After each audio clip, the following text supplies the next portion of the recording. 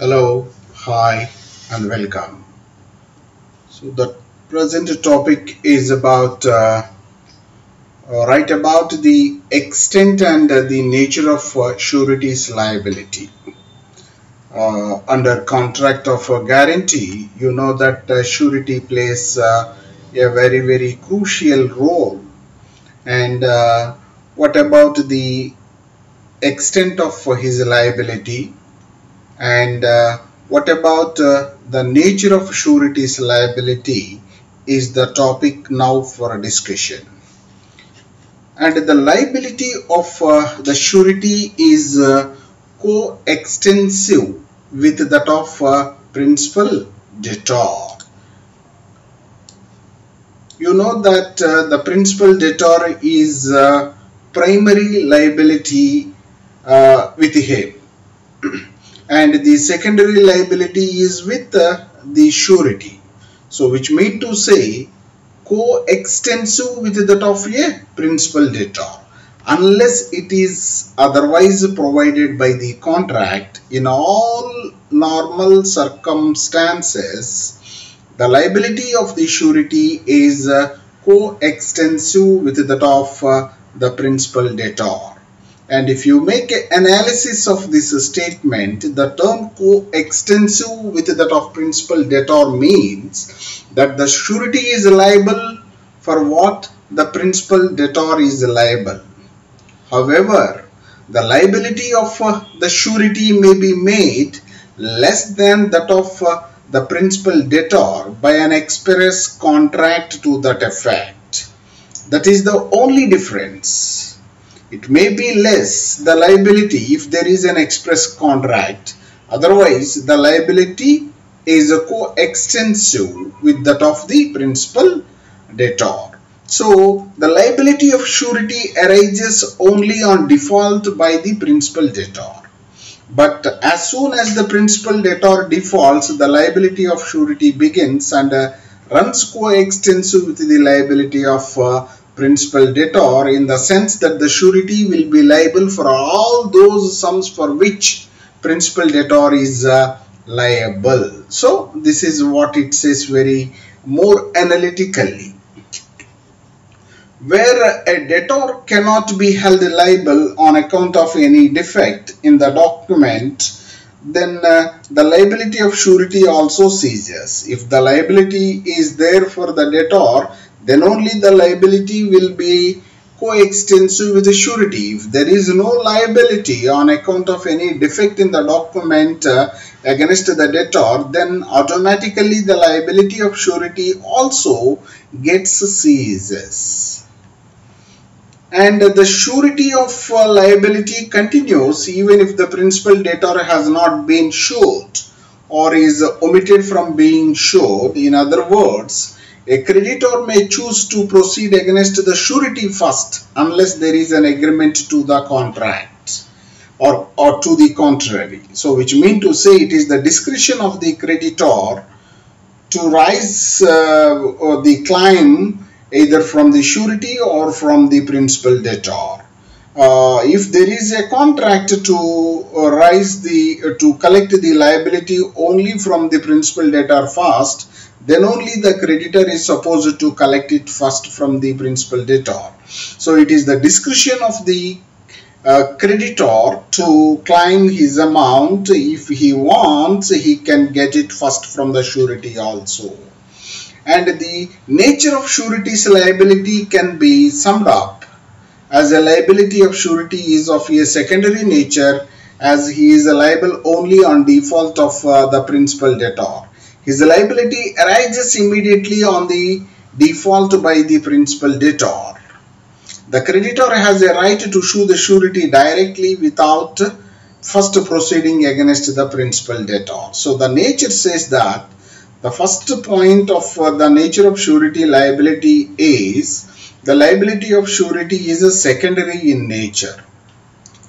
So which mean to say the liability only on the default of principal debtor it happens to the surety and his liability arises immediately on default by the principal debtor. If the principal debtor is defaulted to make payment to the creditor then immediately immediately on the default the liability arises against the surety. And the third point says that the creditor has a right. Uh, this talks about the right of a creditor. If he, if the creditor wants, he can sue the surety directly without proceeding against the principal debtor also. This option is available. This right is available to the creditor. So that is the reason the surety's liability is co-extensive with that of the principal debtor so this is uh, the one topic uh, where uh, there is a likely question to the question may come like this write about the extent and the nature of surety's liability. So the next uh, important uh, uh, one is that explain about the continuing guarantee with some examples. So what do you understand? See you know that the guarantees are of two categories. One is the specific guarantee and the other one is the continuing guarantee. Specific guarantee is for a, a specific uh, contract or for a specific transaction. When it comes to a continuing guarantee, it says that a guarantee which extends to a series of transactions. It extends to a series of transactions is called as a continuing guarantee. The essence of continuing guarantee is that it applies not to specific number of transactions but to any number of transaction and makes the surety liability for the unpaid balance at the end of the guarantee. The surety is liable for the unpaid amount balance at the end of the guarantee. So this is uh, uh, the definition as it is being given under section 129 uh, for uh, the continuing guarantee. And let us see one example for the better understanding. A in consideration that B will employ C uh, in collecting the rents of B's Jamindaris promises B to be responsible to the amount of rupees 5000 rupees for due collection and payment uh, by C of those uh, rents. This is a continuing guarantee. A, the first uh, uh, party is A in consideration that B employs uh, C. B is uh, the creditor and C is uh, the principal debtor here and A is a surety and C is employed for collecting rent of B's jemindari and a promises B to uh, B uh, to be uh, and he promises B to be responsible to the amount of rupees 5000 rupees and the surety's liability is for rupees 5000 for a due collection and payment by C of those rents. This is uh, a continuing guarantee. This guarantee contract will continue as long as B, C is being employed by Mr. B and if anything goes uh, lost to Mr. B because of C's action then the liability of Mr. A will be there to the amount of rupees 5000 rupees. This is an example of continuing guarantee.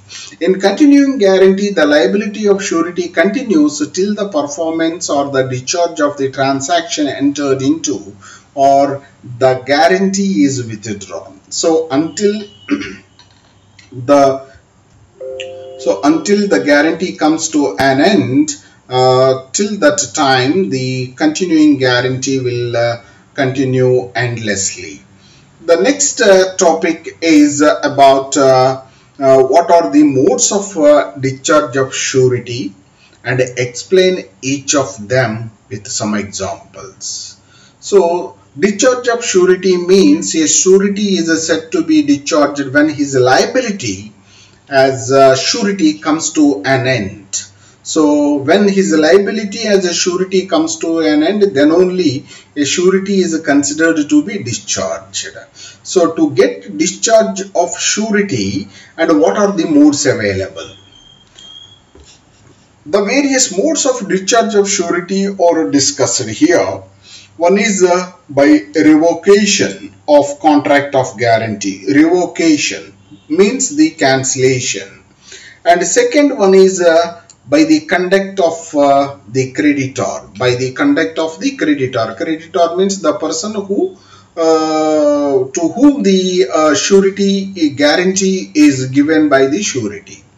And uh, by invalidation of contract of guarantee. If the contract of guarantee becomes invalid, then automatically the surety will get discharged. So these are the three modes of discharge of surety. One is by revocation and other one is by conduct of the creditor and third one is uh, uh, validation validation or invalidation it should be on a invalidation of uh, uh, contract of guarantee. So the first under the first uh, uh, mode that is a, a revocation of a contract of guarantee.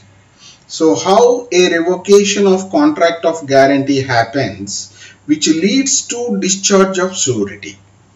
A revocation of uh, the contract of guarantee how it happens that which leads to discharge of guarantee. So revocation of continuing guarantee will happen by notice.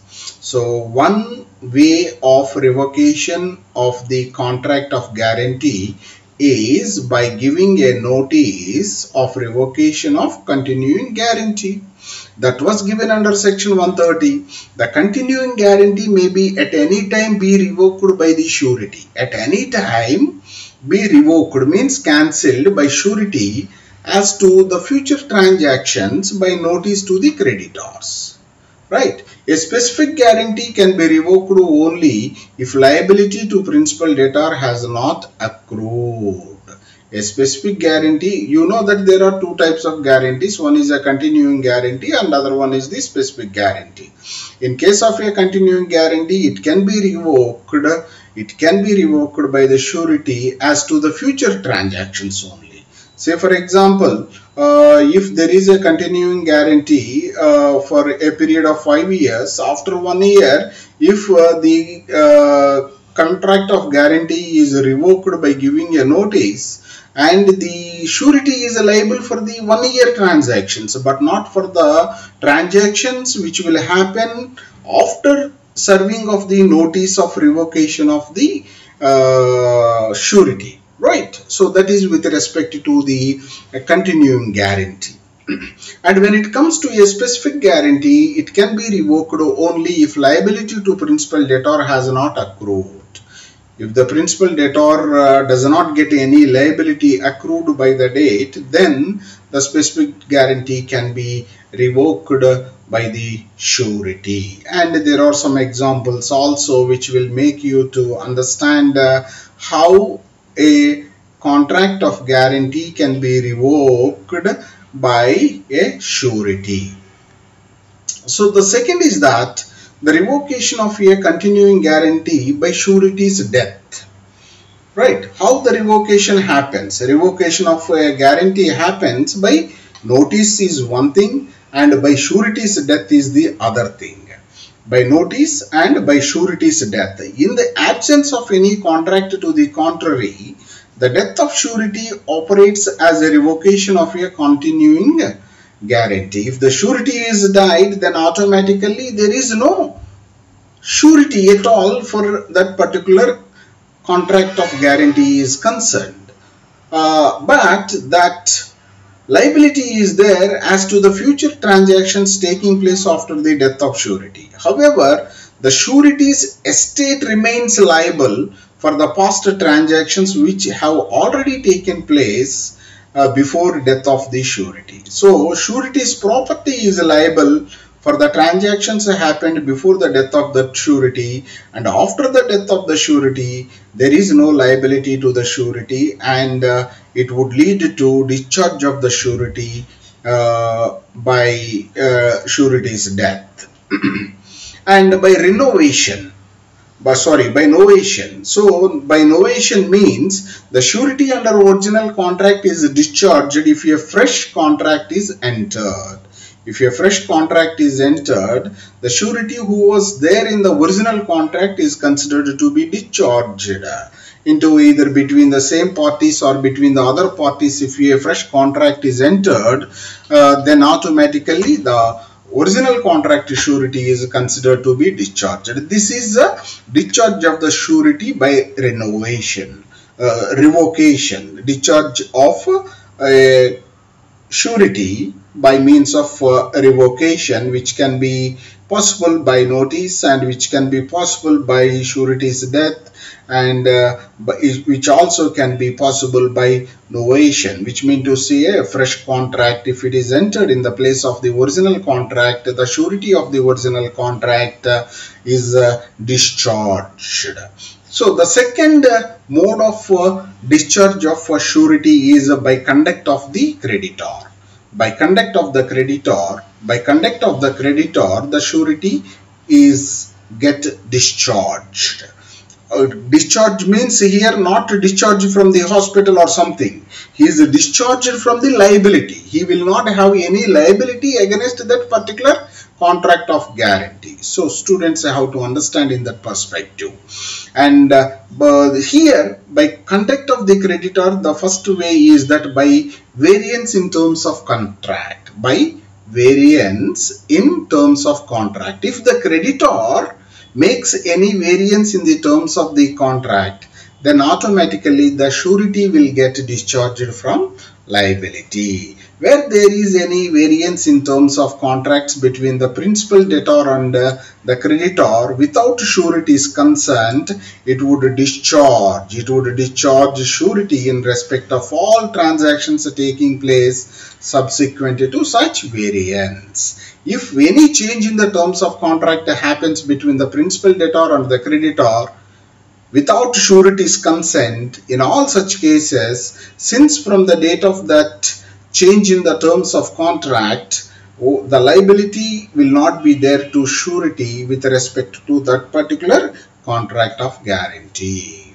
And uh, uh, that variation which is not substantial or material or which is beneficial to the surety will not discharge him from his liability. So this point says that if the variation in the contract of guarantee is not material which means to say it is if it is not significant or the variation of the terms of the contract of guarantee is beneficial to the surety that will not discharge him of his liability. So this was uh, discussed in a case between Mr. Uh, uh, Anirudhan versus uh, Thomco's Bank Limited. So during that there was a court uh, judgment which says that there was a variance in the terms of the contract wherein the principal, uh, the surety of rupees 25,000 has brought down to rupees 20,000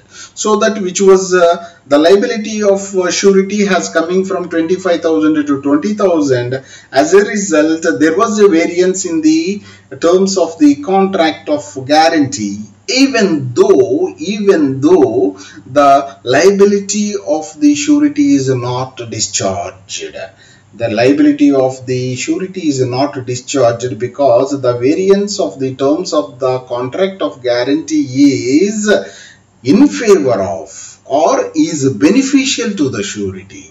So, as such, though his consent was not obtained by the principal debtor and the creditor, this contract of guarantee will not discharge the surety from his liability. Understand? So, this is one exception.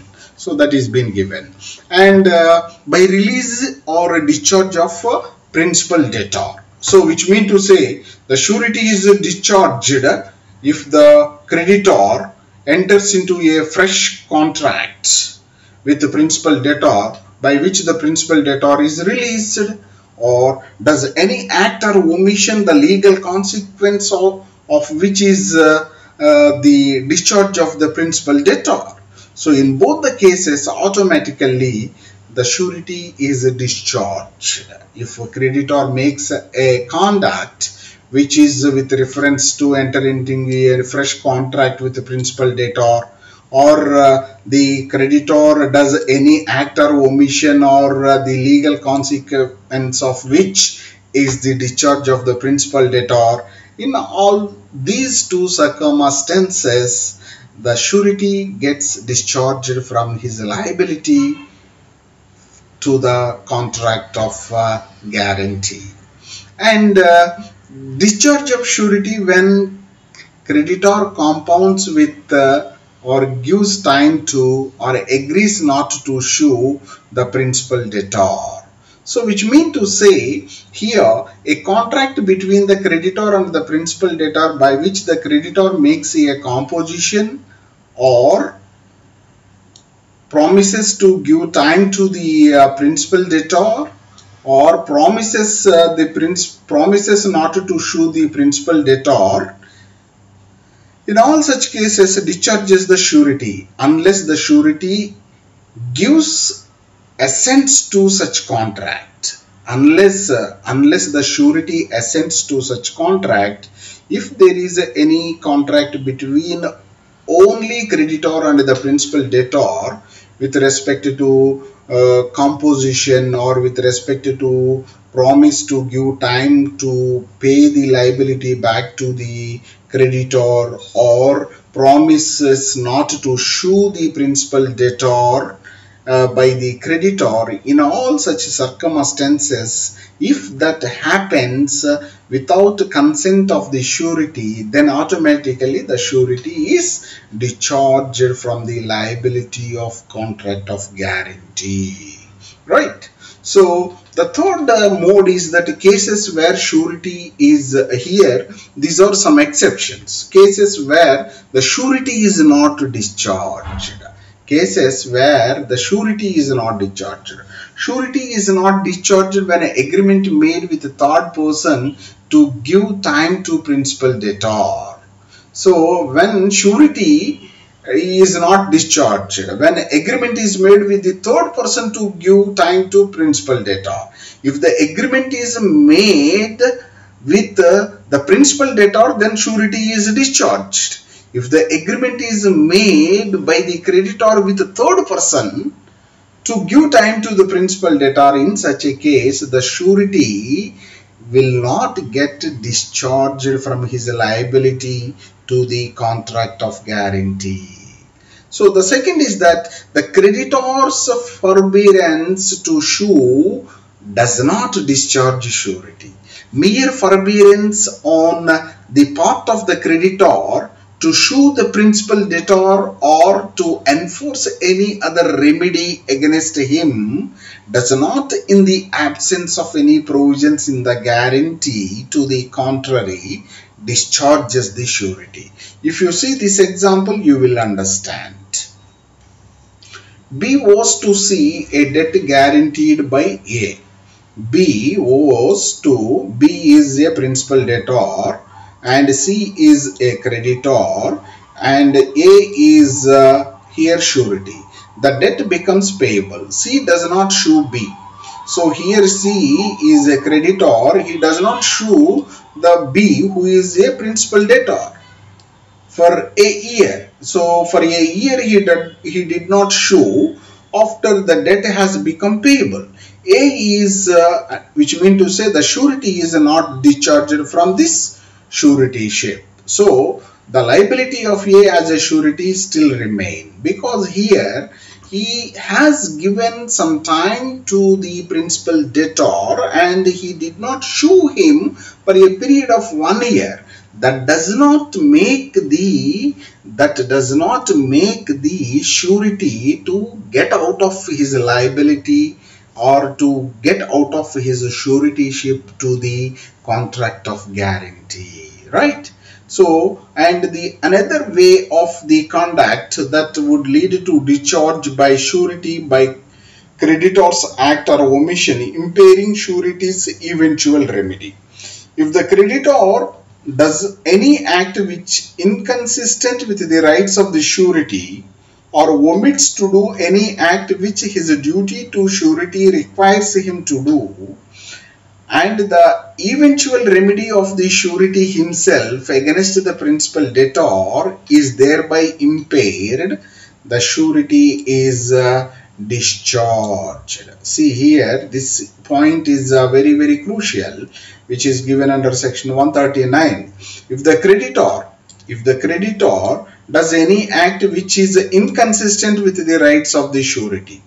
If creditor makes any act which is inconsistent with the rights of the surety or if the creditor omits to do any act which his duty to to the surety requires him to do, whatever he has to do as a, a, a duty towards the surety if he does not do it, and uh, the eventual remedy of the surety himself against the principal debtor is uh, thereby impaired in all such three circumstances the three circumstances the surety gets discharged from his liability to the contract of guarantee right so then the third mode of uh, uh, getting discharge of surety by invalidation of the contract of guarantee. By invalidation of the contract of guarantee also a surety will be get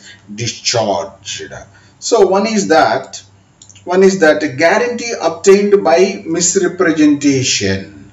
If a guarantee is obtained by misrepresentation, then the surety gets discharged. Any guarantee which has been obtained by means of misrepresentation made by the creditor or with his knowledge and assent concerning a material part of the transaction is invalid. In such a case, the surety gets discharged.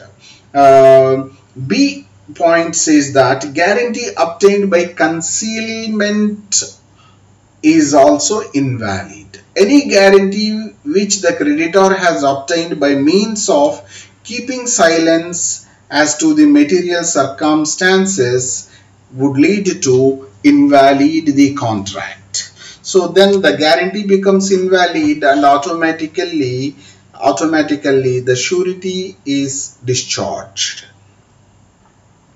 And guarantee on contract that a creditor guarantee on contract that a creditor shall not act on it until co-surety joins.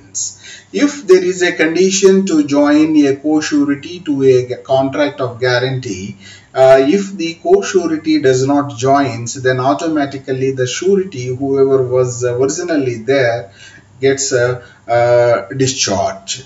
Where a person gives a guarantee upon a contract that the creditor shall not act upon it until another person until another person join person has joined in it as a co-surety so the the guarantee is not valid if that other person does not join.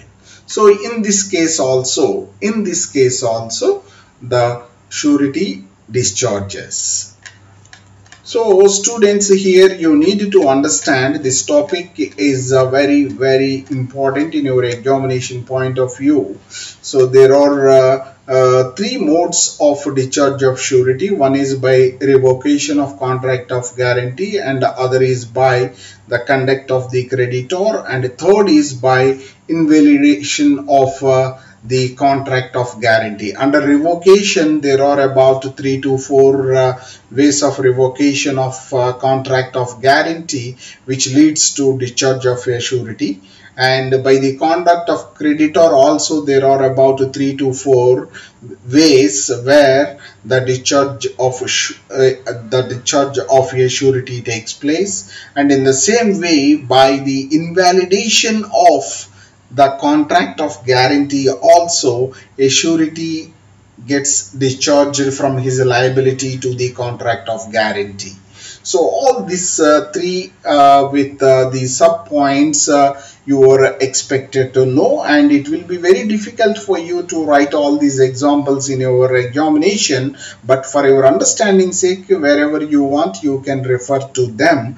Examples writing in examination these many may not be possible. If you want you can write one for uh, uh, wherever it is uh, required so this uh, is uh, one important topic in your examinations and uh, the uh, last topic uh, under this uh, contract of indemnity and guarantee is that what are the rights of the surety? The rights of the surety against the creditor or principal debtor or co-sureties. You all know that uh, for a contract of a guarantee there are three parties. One is a surety, one is a creditor and the other one is a principal debtor.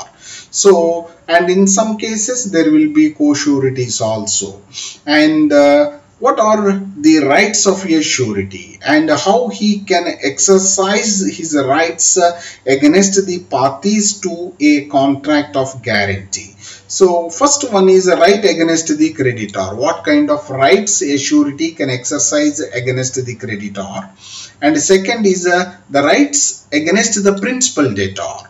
So uh, to whom the surety is given by the guarantor.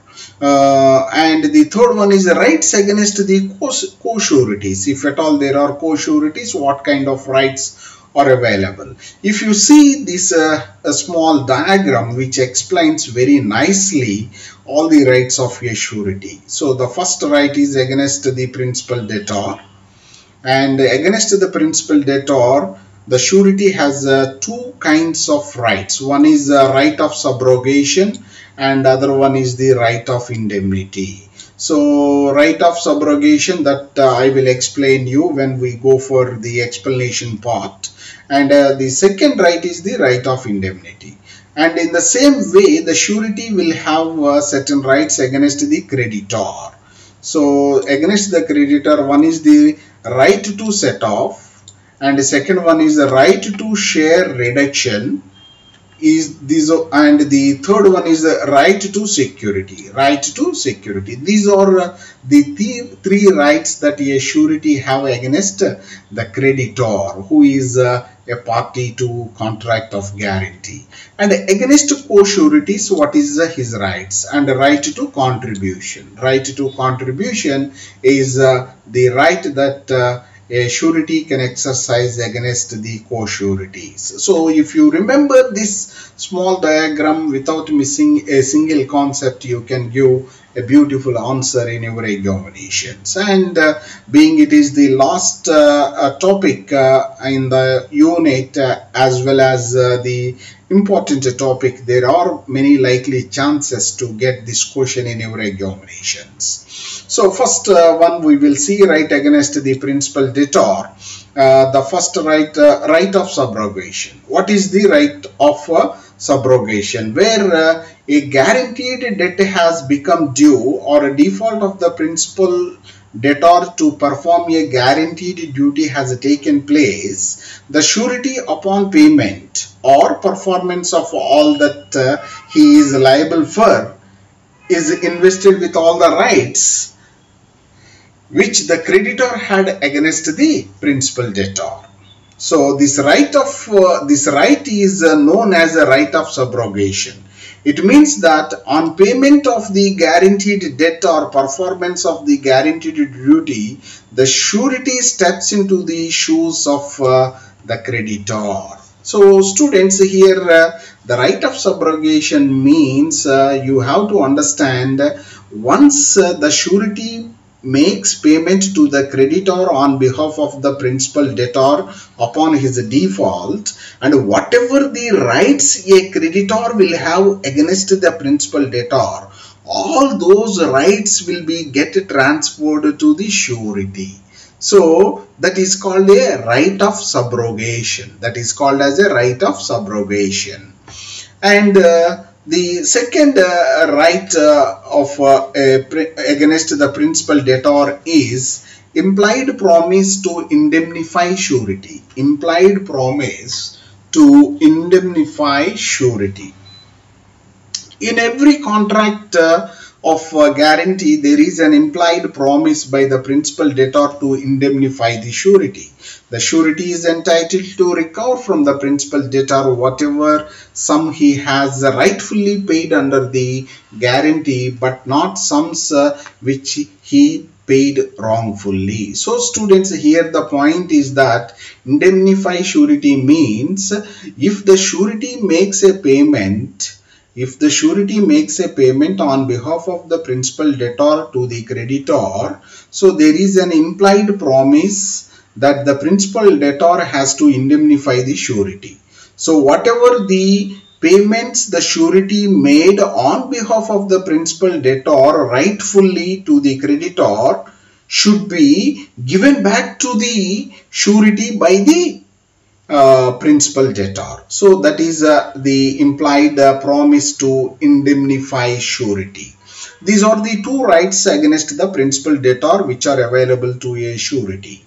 And when it comes to the right against the creditor, surety's right to benefit of uh, creditors' securities, which mean to say that under a contract of guarantee, if there is any security is underlying in the underlying in the contract of guarantee, whatever the security that is available under that will come to the creditor in order to uh, get himself compensated that money from the principal debtor. That is this point which is given under section 141. A surety is entitled to the benefit of uh, every security which the creditor has against the principal debtor at the time when contract of uh, suretyship is entered into whether the surety knows of the existence of such a security or not and if the creditor loses or without the consent of the surety parts with such security the surety is discharged to the extent of the value of that security. That is the point here.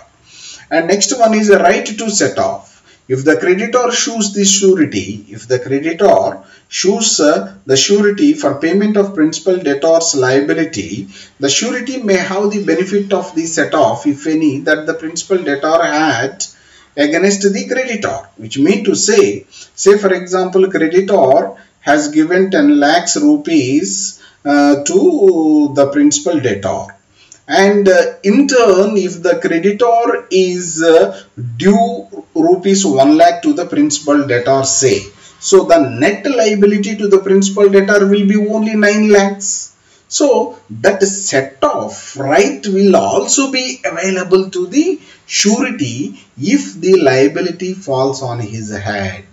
So that is the right to set off and the uh, next one is a right to share a reduction the surety has a right to claim proportionate reduction in his liability if the principal debtor becomes insolvent. So if the principal debtor becomes insolvent and if his property is available only say 50% uh, to pay the liabilities and uh, he and uh, and that 50% uh, only uh, is defaulted to pay to the creditor in such a case, the liability of the surety also will be only to the extent of 50%. It also will come down from uh, 100% uh, to 50% of the total uh, amount. So here the creditor has to forego the amount. The surety's liability will not go beyond the liability of the principal debtor. That is the point here. And the third rights uh, with respect to the surety right against co-sureties. Co-surety means when the same debtor duty is guaranteed by two or more persons, such persons are called as co-sureties. And co-surety is liable to contribute equally. So if uh, uh, the uh, principal debtor fails to make a payment, then all the sureties, co-sureties will have to distribute the liability equally among themselves in order to pay the amount to the creditor. The equality of burden is the basis of co-suretyship. This is contained in section 146 which states that when two or more persons are co-sureties for the same debt or duty either jointly or severally and whether under the same or the different contracts and uh, whether with or without the knowledge of each other, the co-sureties in the absence of any contract to the contrary are liable as between themselves to pay each an equal share of whole debt or of uh, the part of it which remains unpaid uh, by the principal debtor. So this is a, a, contribution clause. So if there is no specific uh, contract in contrary among the co-sureties with regard to repayment of the liability as and when it falls on the sureties uh, they have uh, equal share of whole debt. They have to distribute among themselves and they have to pay to the creditor on behalf of uh, the principal debtor. So dear students, uh, these are uh, the three kinds of rights which are available to the surety against the principal debtor, against the creditor and against the co-sureties. These are the rights of uh, the surety and which is uh, the last topic under the unit 1. Uh, the chapter is uh, the uh, contract of uh, indemnity and guarantee. Right. So with this the first unit of uh, the first chapter in module 2 which is uh, a, which is a contract of indemnity and a con contract of guarantees has come to an end. And I thank you all and pay much attention to listen to these uh, lectures again and again. While listening I advise you to make a notes uh, possibly so that you can register the points in your mind better. I thank you all and best wishes. Thank you